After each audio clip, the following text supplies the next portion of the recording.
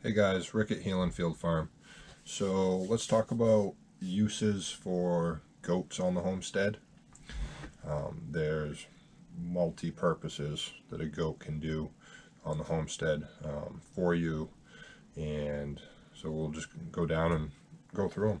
Um, they'll help clean clean up your land, uh, clean out brush. They love to uh, you know graze on the end of branches uh, they'll eat the leaves, they'll go through weeds, um, they'll clean out fields, um, mow it down. You can even put them in your front lawn, and and they'll you know mow that all down for you. So they're very versatile to help uh, you know work in your pasture. Maybe you have a wooded area that you need cleaned out that you want to use for something else down the road. So that's a great use um, of the animal, you know, on your homestead. Uh, you can get goat meat from them. You can raise meat goats and uh, you know butcher them, fill your freezer, and you know eat the meat. You can get milk from them, and then you can make cheese from that milk, yogurt from that milk. You can make soaps, lotions.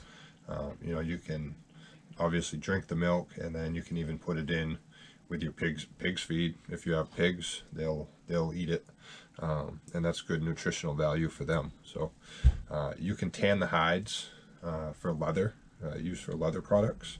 I know it's probably not a, a big big thing, but you know it, if you're gonna butcher an animal, you know you don't want to waste anything that, uh, so you know if you can make a use out of that i mean you make leather aprons leather gloves stuff like that so you know, lots of uses there.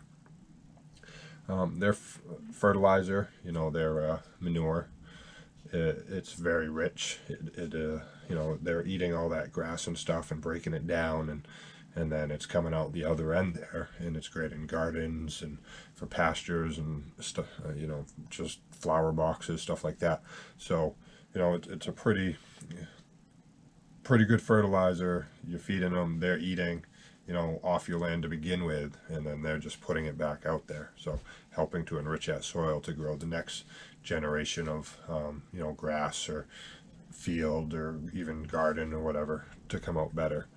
So their poop is also um, a great fire starter, and it's kind of gross. You don't want to grab a handful of poop and throw it in the wood stove or anything, but it, it is. I mean, if you think about it, they're eating you know the grasses and the dry leaves and the the tips of the pine trees and, and such like that.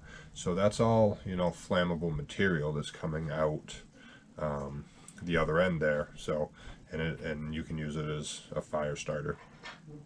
Um, you know, security on the homestead. Another good point. They have very loud bleats. So maybe you're in your house and you hear them middle of the night. Well, then something's probably out there that you need to attend to. So, um, and you know, it's security. You could have a fox or something trying to get in your chicken coop, but the goats see it.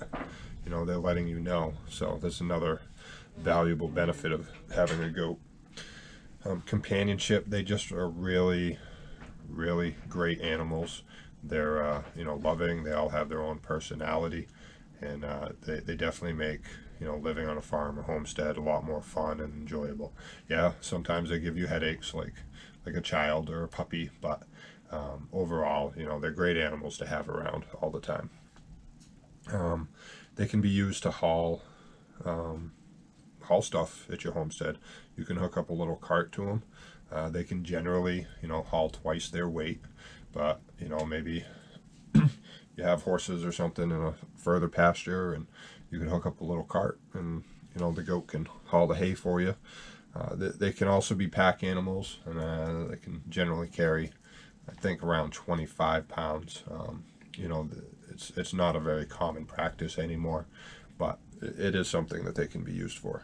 So um, yoga is is a big thing. Yoga with goats. It is a huge uh, crowd pleaser type thing right now. Um, you know it it makes yoga more enjoyable for people. I know a lot of different places are doing it. And, you know, the goats will climb the people while they're doing the yoga. And it, it's quite entertaining to watch sometimes. And it seems like everybody's having a great time. And I know a business who started it a couple of years ago, and they've been sold out time after time again when they when they're doing it. So you know that's a great little side hustle you could do with goats. Um, you can get uh, wool from them, wool fiber. Um, some breeds, uh, Angora, Cashmere, Pygora, you know, they you can uh, spin it into yarn and crochet and all that stuff. So a lot of people think goats and they don't think of wool, but that's definitely something that they do produce. And you you can you know knit sweaters and afghans or you know crochet just about anything. So that is another benefit that goats provide that maybe a lot of people don't really ever think about.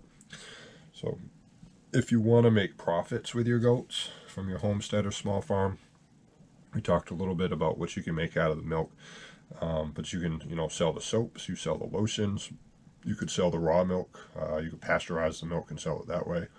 Um, cheese, yogurt, uh, you know, you can sell the wool. Um, you can rent them out. May, may, a lot of people will, you know, rent out their herd to go someplace and clean out an area of field, and and you know that's great. You're making a little money. They're being fed basically for free, and you're just hauling them back and forth. So um, that, that's also another option. Uh, you know, if if you have goats and you're familiar with goats, um, you can teach classes on raising goats, uh, whether it be like maybe an online thing or you invite people to the farm and teach them, you know, the amount they're supposed to eat and the kind of plants that you want to keep away from them and maybe even walk them through the birthing processes, you know, how to milk a goat, stuff like that. So there's a lot of interest out there and people will, um, will, will pay for a class like that. So that, that's another great option to make some money off of um, goats. And then, you know, look into field trips. Maybe you have a nice farm and, you know, you talk to your local schools and, you know, a couple dollars a kid and you have them come out and you give them a tour and you let them get to know your goats and maybe your other farm animals at the same time.